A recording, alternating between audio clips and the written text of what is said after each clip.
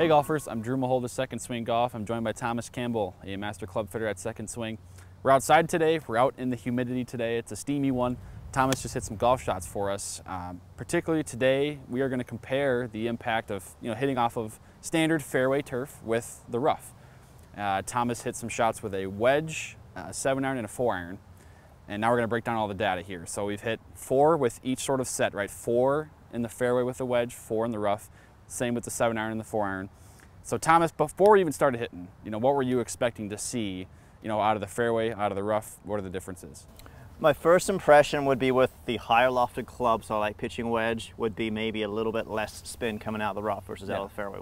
Out of the fairway, maybe a little easier for me to hit, so my dispersion pattern is probably not going to be too far off because there's more loft on the golf club. Yeah. So I'm going to expect with the wedge, maybe pretty similar distance, probably just coming in with less spin. Yep. Okay. And then the seven iron moving up now, where you're getting kind of into a, you know, maybe a, for you 175, 180 yard shot what do you see or expect, I guess, for the differences um, between you know fairway and rough? Same thing. I'd probably expect maybe a little bit less spin with the seven iron out, out of the rough.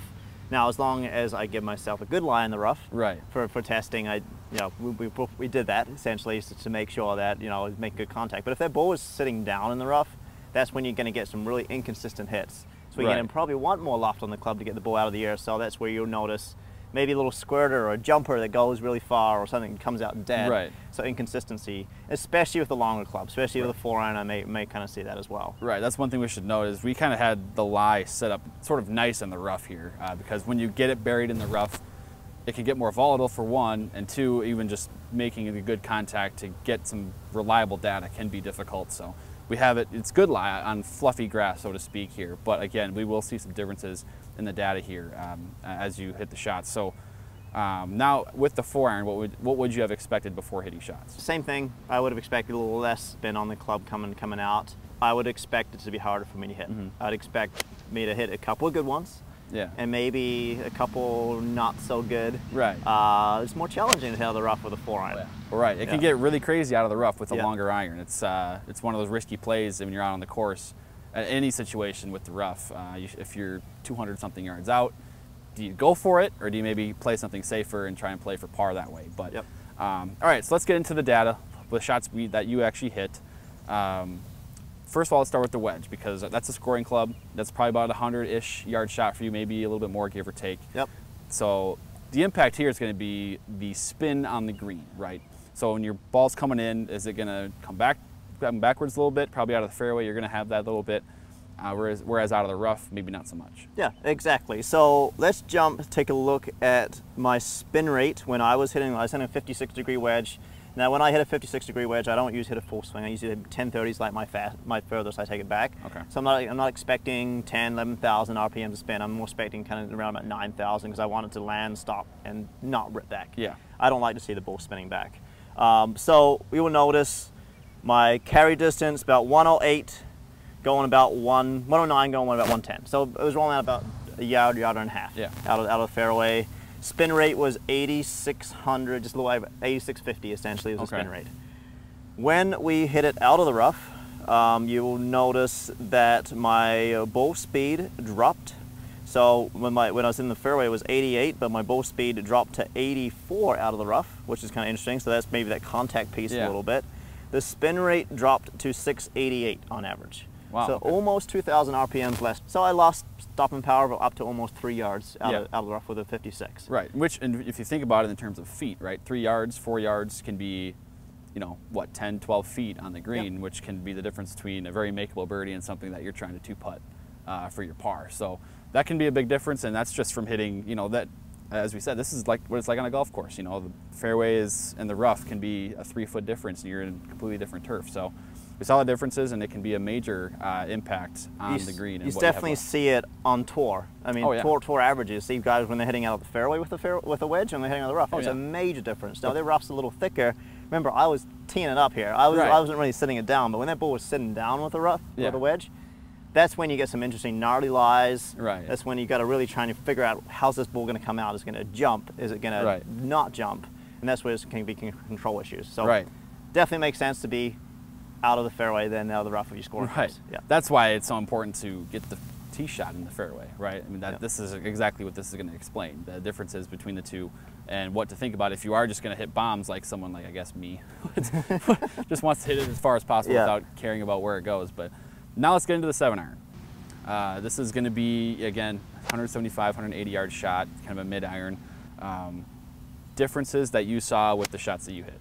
Let's look. So I was swinging slightly faster out of the rough, which is kind of interesting. Maybe that's just me trying to get through the ground a little bit more. So my club speed with the seven iron out of the fairway was 90 and a half out of the rough was 91.7. So I was, spinning, I was swinging about one okay. mile an hour faster. Um, didn't quite resemble it with regards to kind of ball speed number, 125.6 out of the fairway, 126.9. So my smash factor was slightly better out of the fairway, who would have yeah. guessed. Spin rate was 800 RPMs less. Okay. So it wasn't 2,000 like it was with the um, like it like it was with the wedge. Right. But it was definitely spinning less, and you'll notice that my average carry today with seven iron was 175 out of the fairway, going 180. Out of the rough, it was 180 going 187. Okay.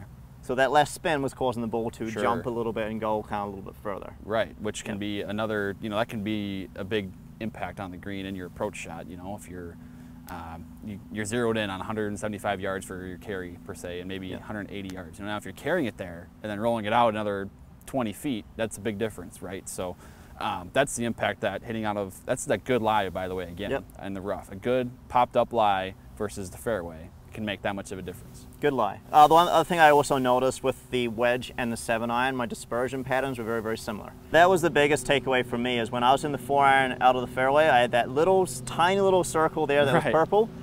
Basically that straight every time. So I had yeah. four really good swings out of, the, out, of the fair, out of the fairway. Then if we look at the green circle out of the rough, you'll notice, um, sorry, the blue circle, kind of like blue and green. blue, the, the, larger circle that's about four or five times larger than the yeah. purple circle. So my dispersion got much larger out of the rough with the four iron. Right. So naturally, my bad shots are going to be even worse mm -hmm. out of the mm-hmm. rough. Um, one may jump, may, one may not jump. May, may be a little harder for me to get that club face square at impact too. So I may. Yeah have more left and right shots as well. Sure. Yep. And one thing we should note too um, is that you were hitting your gamers for uh, your clubs, right? Your this, your 56 degree wedge, it's your seven iron, your four iron. Yep. Also, the golf balls that we hit were the ones that you play in in competition, the ones that you play in general. Yep. Uh, the Callaway Chrome Soft uh, X, I believe, right? Yeah, correct. So yep. that's all. You know, we're not hitting range balls here. We want to get this as accurate as possible to reflect again the differences between hitting out of the rough, hitting in the fairway. And so I think that's pretty significant based on this. I mean, it doesn't sound like when you look at, you know, the spin was what, like 6,800 with the wedge, but then 86 or something like that. Uh, that doesn't seem like a lot of a difference, but the performance on the green and the result is going to be a big difference. It's going to be the difference between you shooting, uh, you know, maybe four or five strokes if you keep hit missing fairways mm -hmm. versus, again, scoring, taking advantage of those birdie opportunities. Yeah, I mean, keep in mind, I would consider myself a pretty good player. For those mm -hmm. players that may have a little higher handicap, you're going to see these numbers probably exaggerated more. The consistency out of the rough is going to get worse. Right. Players going to need to have more loft on the club to get the ball out of the rough. They're not going to be able to get to the ball to the green if they're 200 yards away. They may have to hit a club that's going to get more loft so they can just get it back in play, right. and then they're you know, you're losing shots. So being in the fairway for sure is very, very important off the tee to give yourself better scoring shots, uh, give yourself more birdie chances. Absolutely. Yeah, this is a great tell for everybody out there the differences between hitting out of the fairway, hitting out of the rough, why it's important to keep your ball in the fairway off the tee. So golfers out there, uh, you, have seen the results here. Thomas did a great job with the test here. Keep the ball in the fairway, you're going to shoot lower scores. That's not rocket science, but here we've got some actual numbers and data to support it. So Thomas, thank you for hitting shots and putting up with the heat today. Yeah, come see a fitter and we get you, you driving nice and straight so you can play out of the fairway.